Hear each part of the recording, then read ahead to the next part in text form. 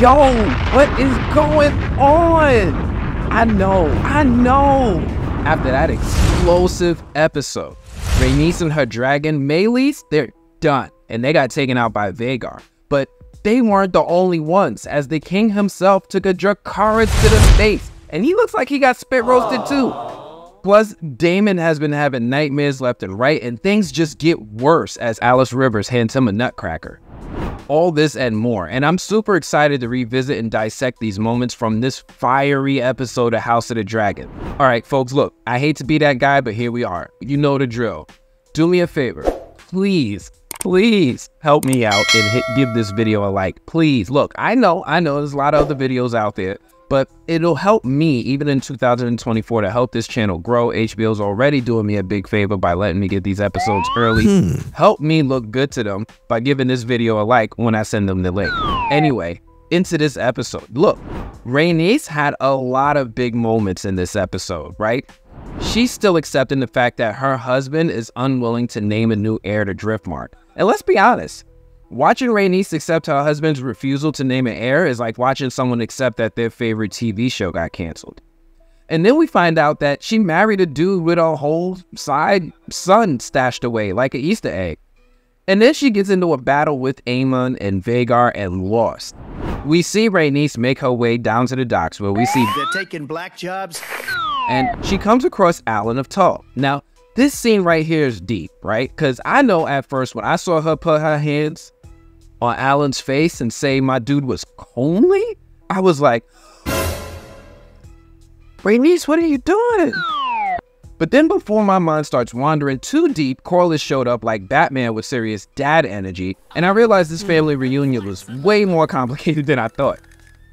Rhaenys, as usual, does most of the talking with her eyes, but also lets us know that she done been put two and two together. We don't even need to bring Alyn to the Game of Thrones Maury for a paternity test. She knows. now, I know that this is important, right? I know that this is important, right? But I don't know what it means yet. So let's try to figure out what this could mean, right? Because on one hand, Corlys is kind of in need of an heir, Ooh. ideally a oh. male heir, and one who is familiar with the oceans. Alyn checks that box. On another hand, we can't help but wonder if Alyn's appearance could at some point in the future tie into Sir Larys's dragon Sea Smoke, who has been seen flying without a rider. But Alyn isn't a Targaryen, so by the rules of the game, he shouldn't be able to bond with or ride a dragon. I don't know what this will turn into later, but that was an interesting moment for Rhaenys. And of course, the other big moment comes when Sir Criston and Sir Gwayne pull off an attack on Rook's Rest, daring Rhaenyra and her forces to send a dragon to help protect the castle. And this battle is amazing. I mean, it is absolutely everything, especially with all the buildup throughout the episode. That scene at the Black Council when Rhaenyra returns from King's Landing to learn that things have gone from bad to worse is intense. But what made the scene intense is the fact that Rhaenyra feels like she has no other options. Now, I do like the parallels in this episode again. Now, most of the parallels you guys are probably tired of me talking about in the lives. If you're not part of our lives, they're every Sunday night, 10:15. We're going to be talking about each episode right after. And we go in on all the parallels that were in this episode and how House of the Dragon has been doing this neat trick to what I think is pretty great success. Now, Rhaenys volunteers to ride out to battle Sir Criston's troops on her dragon Meleys. And the moment she volunteered, and I heard how the beat dropped in the music.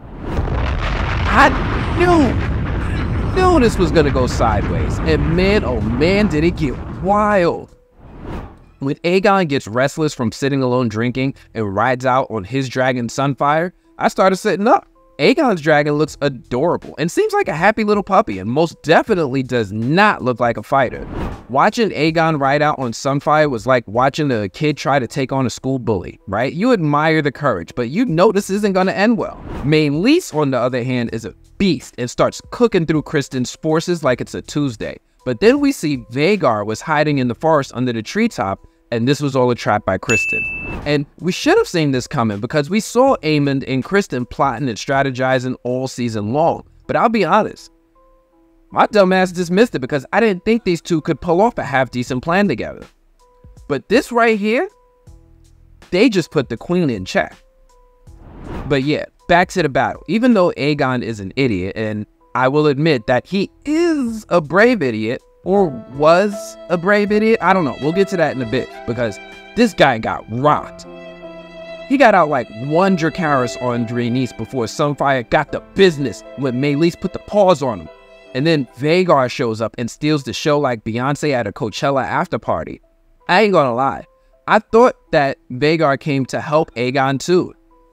RIP to Sunfire. You were basically a participant trophy dragon at this point because Vhagar decided to show him what a Dracarys really is. That poor little pup got cooked and exploded. And I like this little fact that when dragons hit the ground, they explode, which I don't know if it makes sense, but it definitely looks cool as hell. Now, I can't tell you how many times I screamed at the TV for Rhaenys to please, please just leave and go back to Dragonstone where it's safe. I can't tell you how many times I gasped, I kicked, punched there. Because this moment coming up right here, when Rhaenys and Meleys got in the clear after dodging Vhagar's Dracarys, I was like, oh, that's our cue. But Rhaenys had that old look in her eye. You know, the one that heroes get right before they're about to do something stupid. You know, that Jon Snow. And what's wild is that if you pay close enough attention, Aemond wasn't even thinking about her.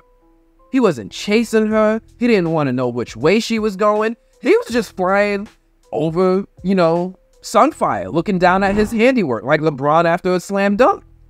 I like this cool shot that we see of the dragons flying toward each other because we get to see the size up.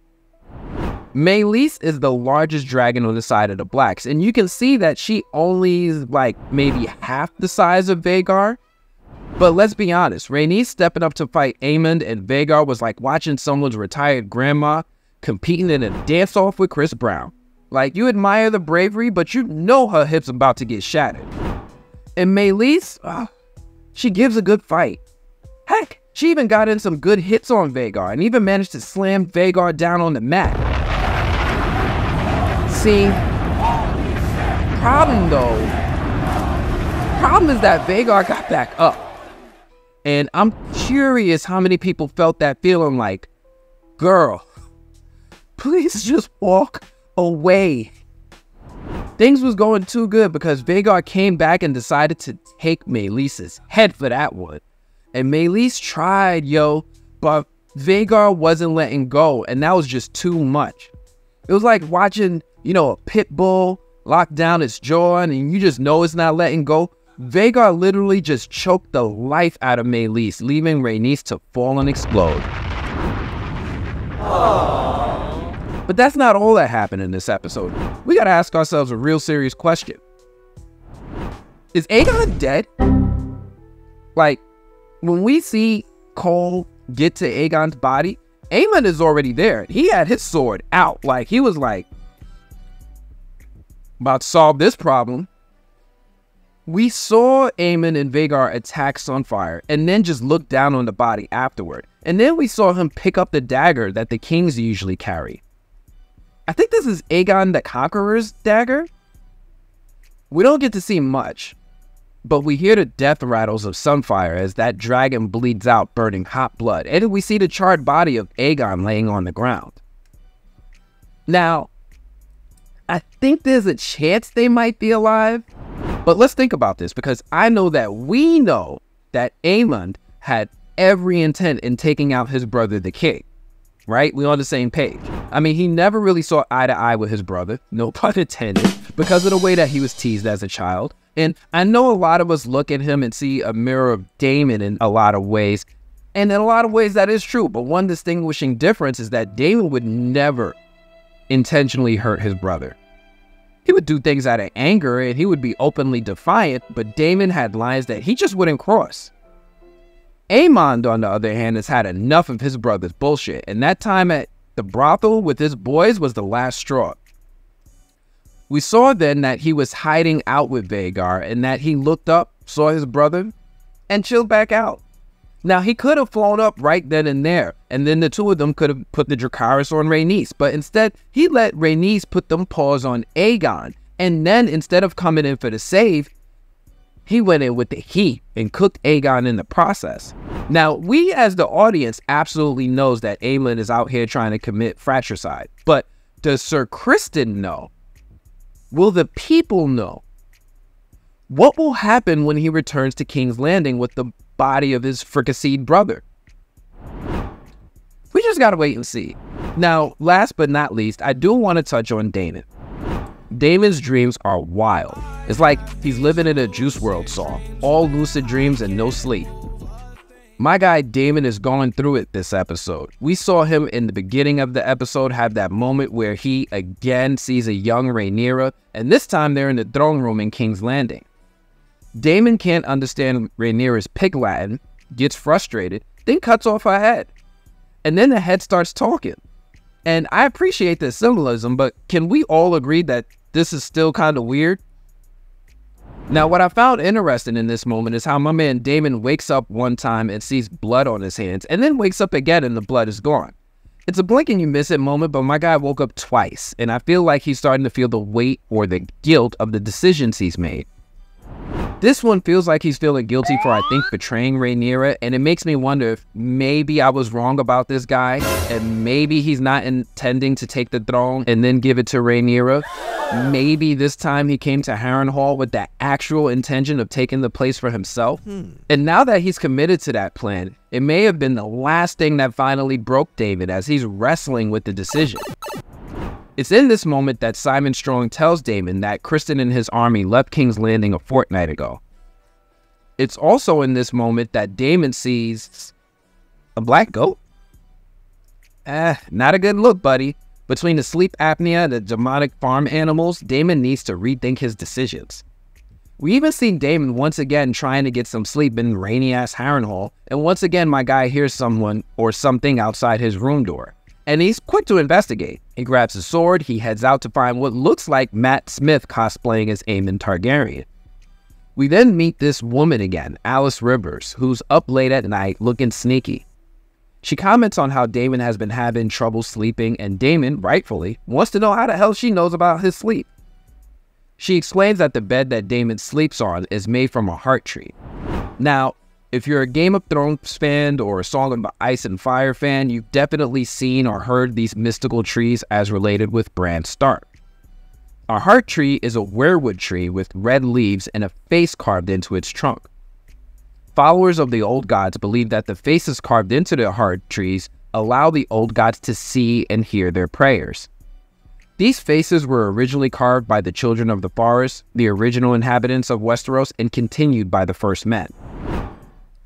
Now that we explained that, let's get back to it. Alys hands Daemon a Coney Island nutcracker that she says will knock him out faster than a dragon with a belly full of sheep. We don't actually see him drink the drink, but we hear the gulp sound effect, and then we see Daemon waking up in the middle of a meeting with Sir William Blackwood. Daemon has his own little hangover moment and is trying to fake the funk and piece together what the hell is going on. Hmm. Suddenly, Daemon sees one of his deceased wives Damn, that's messed up that I gotta say one of them. Anyway, we see his ex-wife walking through the room as a cupbearer. You know, the person who refills the drinks. Which is interesting as this is the role that Rhaenyra had for the small council when she was younger. So it's some cool parallels and symbolism there. We see he's hallucinating as the Blackwoods are promising to help, but only after Daemon and Caraxes help take care of the Brackens once and for all. And those were the major developments in this episode between Rhaenys Daemon and that whole battle with the dragons, we are in the end game now. And this is crazy because we're only four episodes into the season. We're only at the midway point, and I can't help but wonder where things go from here.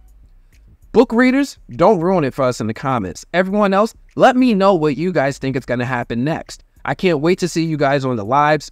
Uh, join us again next week when we do this next breakdown for the following episode. Otherwise, hey, give this video a like, and I'll check you all later. Peace.